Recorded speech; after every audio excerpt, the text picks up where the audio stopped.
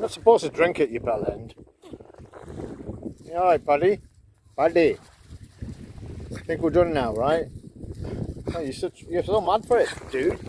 Just calm your bones. You're supposed to be 70 year old. Imagine that, eh? Are you okay? Right, let's go. I think it's time for a mushroom stroganoff, mate. You like mushroom stroganoff, don't you?